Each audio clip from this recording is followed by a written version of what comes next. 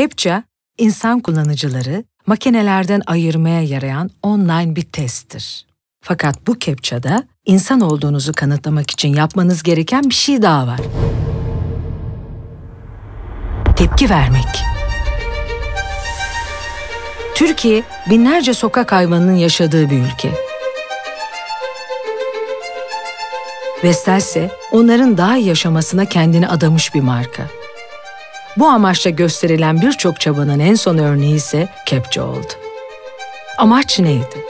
Kamuoyunu harekete geçirmek, yetkililere sesimizi duyurmak ve yasayı gündeme getirmek. Çünkü hayvana karşı şiddet küçük suç kapsamında değerlendiriliyor, karşılığı da ufak bir para cezası. Bu nedenle Dünya Sokak Hayvanları Günü'nde internette insanların karşısına özel kepçalarla çıktık. Başta sıradan gözüken bu kepçalar tamamlandıklarında fotoğraftaki hayvanların trajik hikayelerini anlatıyordu. 10 kepçe hazırladık. Tepkisiz kalamayacağınız 10 gerçek hikaye. Kullanıcılar sitemiz aracılığıyla ya da kepçaları kendi sitelerinde kullanarak seslerini yükseltmeye davet edildi. Sonuç büyük bir başarı hikayesiydi.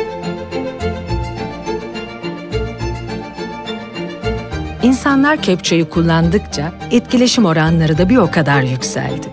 Konu uzunca bir süre gündemde kaldı ve konuyla ilgili iki hashtag saatlerce trend topik listesinde yer aldı.